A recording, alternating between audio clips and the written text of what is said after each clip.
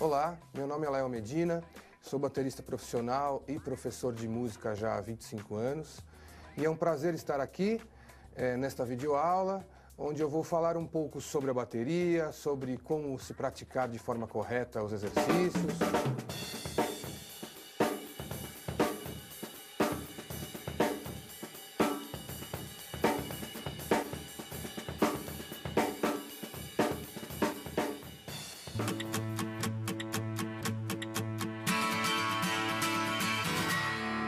Então o que acontece? Essa é uma bateria chamada de padrão. Então nós temos oito peças ao todo. Nós temos os tambores e nós temos os pratos.